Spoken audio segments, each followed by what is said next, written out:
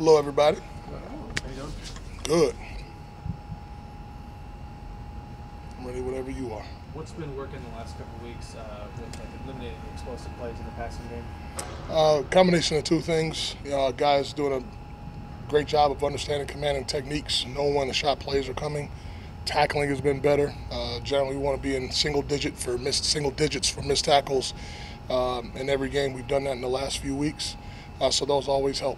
You know, don't give up the big stuff. Stay on top on the deep end of the field, and obviously when the ball's thrown or the ball's uh, run, it breaks the line of scrimmage. Just make sure we get on the ground, and the missed tackles lead to explosives. So guys have done a really nice job of that the last two weeks. What have the numbers been? If you can remember. I believe for the Philadelphia game it was seven missed tackles, and this Tennessee game we had it at six.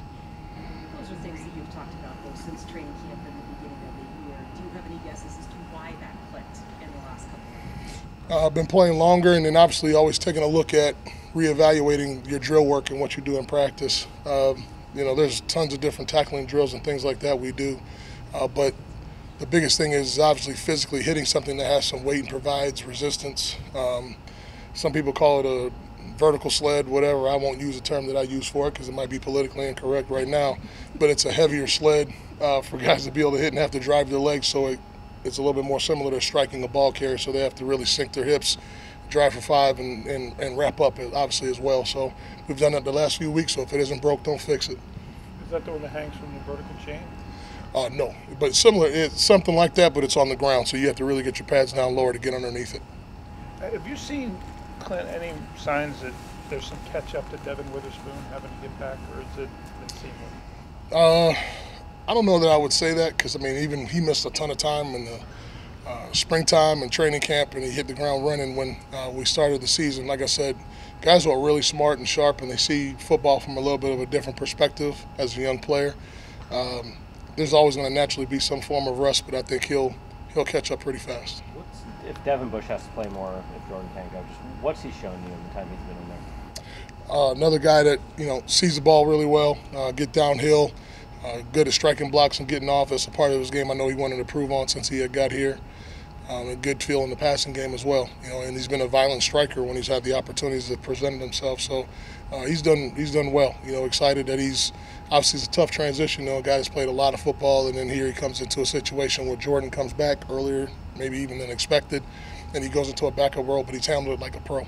You know, and now the opportunity there presents itself again.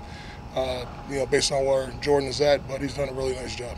How, how did you see Reed handle? He obviously didn't play as much the previous week. Last week comes back and plays the whole game and has a hit at the end and all that. How, how, did you kind of see weeks? uh, great maturity. You know, sometimes that happens with young guys. You know, things happen. You know, and some whether you have to you look at it like you got to grab the attention of a player, or you know, obviously he's kind of got to get some things figured out along the way. I would say that he has and handled it really, really well. Commend him for that. Um, whatever those situations arise, that sometimes the young guys they have a hard time accepting.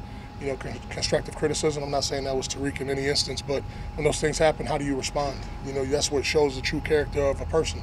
Uh, in tough times, so, and he responded really, really well. Proud of him for that, and and he's uh, played good ball. How impressive is what Julian was able to do last week to not be here all week, fly out Saturday and play a whole game? I think it's way overblown. He didn't do anything. His wife did it all. All right, let's get that straight.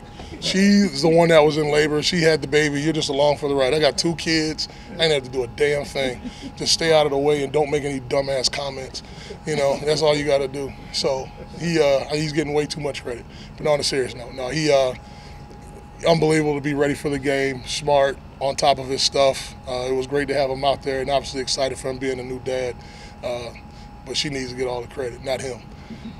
How did Devin handle uh, Devin Bush? That is handle the adjustment. It sounds like you said the plan going into that game was without Adams, who more big nickel, and sort of stepping in for Jordyn. Yeah, uh, D. Bush has been handling both roles, playing dime backer in the big nickel spot. Uh, we like to dual train guys, just so you don't want to get knocked out of a package just because you lose one particular player.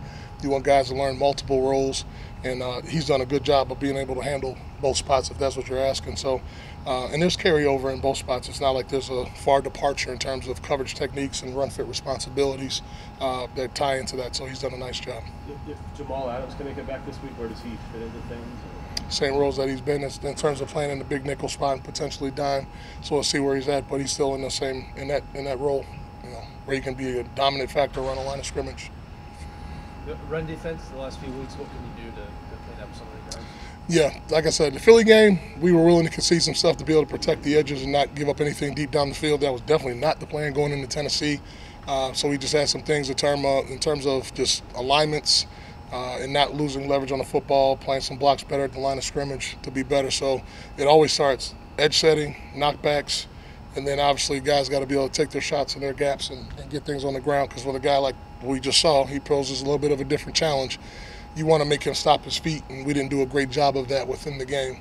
Um, you know, the first half of it was really where the mess was. They had way too much in the yards per carry. Like I want to say, like seven in the first half. Second half, I want to say they had 16 carries for 46, and it was like 3.5 or 3.7. So we got it fixed in the second half, but the first half just left a really bad taste in our mouth. And then I think uh, there was like another 30 yards in scrambles. Uh, one of them was a big third down conversion. That was just not a very good play.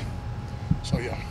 You, I was gonna say, I think quarterbacks have more than 100 yards rushing the last two weeks. This obviously. Yeah, this, this, yeah, the Hurts runs, the draw, like in the late part of the game, and the quarterback scrambles up front. We got to do a better job. The sacks are great. We want to keep those going, but we got to make sure when we play a quarterback that's a nimble enough athlete to hurt us when the pocket breaks down, we got to corral and keep them in there, uh, so we don't let plays get extended. That's been a little bit of an Achilles heel the whole year. I think it was Dre'Mont you mentioned you kind of laid into those guys at halftime.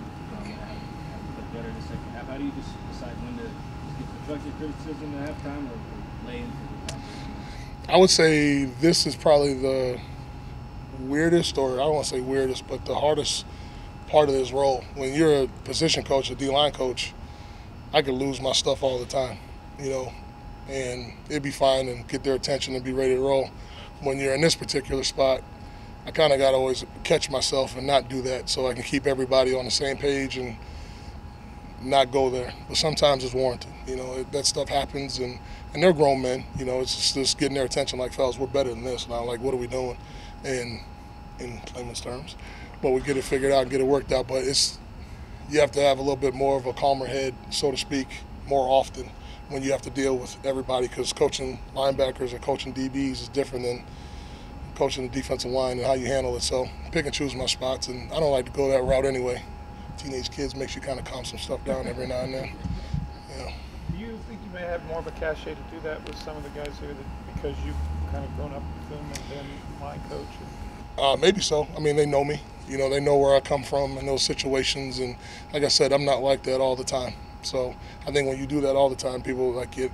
Okay, it gets old, uh, but that's generally not my approach. But uh, yeah, I think uh, the relationships, guys understand where I'm coming from and whatnot. So they uh, were supportive of it, and we got it fixed. The way you guys have been able to get pick uh, against the Eagles game and then the the Titans game, how much did that maybe help down the stretch?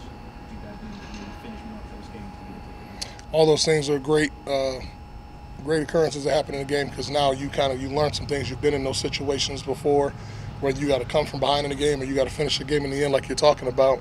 It's great for those guys to have recall because we've been in those moments in those situations before whether we finish it like you said with the pick or with the rush. I say all the time rush and, and rush and coverage complement each other. Uh, so those parts of it are great. Just want to see us pull the full thing together which is let's be consistent with our run defense, and obviously third down is another big part of that. Make things a lot easier when we get all those things tied together. You, you mentioned the tackling stuff you guys kind of did. Is there, I guess, is there a reason why you don't just do that all year? Is it just unpractical, or? No, it's not. I mean, what you try to do is you create certain instances that happen. Like if you play a team that's a big perimeter screen team and they put the ball outside, you know, there's things like with uh, sideline tackling drills, leveraging the football and incorporating tackling, and that is what you want to try to emphasize and focus on. You know, and different things, like I said, per- pertaining to who you play. But really, at the end of the day, was it was about us putting our bodies on people. You can't necessarily do it in practice, but to use a sled that has some weight behind it to do that, to kind of emulate that, we had to do. And it was like, you know what? It's been great for us the last two weeks. Let's keep it going. We're getting ready to play another really big back. You know, big tight ends, big physical guys. You're going to put bodies on these guys, and it's going to be a physical style of game. We know we're very aware of how they play, so got to be prepared for that. The, the hit that Julian uh, put on the guy that knocked the ball out. It seems like anytime, almost pretty much every time you see a big hit like that, where the ball gets dislodged, there's almost always a penalty. Was that a textbook example of how to do that cleanly? Absolutely. Lower your strike zone. Obviously, always trying to lead with your with your shoulder. It used to be when you were taught how to tackle, you would always cross face, but now if you cross face, you're leading with your head, even though that may not be your intention. So you try to get near shoulder involved. So obviously, as you see the player coming, he did a great job of taking the correct angle where he made it as a right shoulder hit, and his head didn't have to go across the bow. You know, if he was late on that route, and he does, the refs probably look at that a little bit differently. But it's asking a lot because you think about how fast the game is going. A guy has to process all that information in real time. So it was a great hit. I thought Diggie's hit that he got flagged on. You know, I'm not trying to get fined, but I'm just, eh. I don't know if I agree because he didn't have, he didn't have his head involved with that one. I, it made me wonder maybe they threw it because they thought he could have pulled off. How do you know the guy's not in position to catch the ball? You know, so those are all the split second judgment things. I, I was I was a little curious about that one. Waiting to hear the response back from the league. Did you did you have a thought on Tre Brown's uh, interference penalty? Man, Segued into officiating. so I forgot. you know, you know, it's a tough one. We just we knew going into the game, D Hop was going to be a guy that was trying trying to draw and initiate contact. He wants to be physical at the top of the route. That's how he creates separation. I think Tre could have played that one a little bit differently. The flea flicker touchdown or the double pass. yeah, double pass, Sorry. It's not, you know, Christmas was good. So now you want to bring us? no, we uh we drilled we worked that because we knew they were a big gadget and uh, gadget team and things like that. We worked a couple double passes last week. Obviously, we missed that opportunity. He should have been in the deep third. It's a good one to learn from. You know, on that one, he, he knew it as soon as it happened. How you think about how Artie has played last couple of weeks? Artie's done really well. You know, I, Artie is. Um, it's tough when you get a veteran player that's been at one spot a majority of his career. Nickel is not an easy position to play, and to his credit, to me, I think you extend your career because now you can do so much more besides just playing a corner spot. He can play the nickel, and everybody's known his whole career he can play man to man. So the fact that he understands all the run fits and the zones and his awareness, uh, Artie's done a really nice job when he's had to fill into those roles. We're really proud of him. Anything else? Thank you. Appreciate you guys. Take care.